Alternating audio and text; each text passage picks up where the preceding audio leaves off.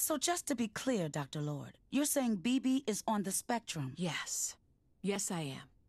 BeBe is at a lower support level, but it might change and fluctuate as he grows up, sometimes day to day.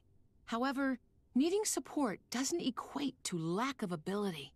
It's most important for you, his family, to continue believing in him, teaching him, and helping him reach his full potential.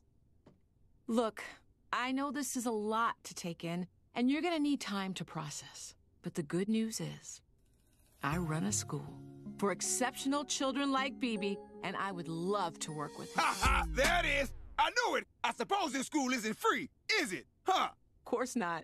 Okay, Trudy, let's get out of here. There's nothing wrong with BeBe. Oscar, relax. Dr. Lord knows what she's talking about. And I know what I'm talking about. There's nothing wrong with my son. BeBe? How did you... BeBe, come on, let's get out of here. Oscar, stop being ridiculous.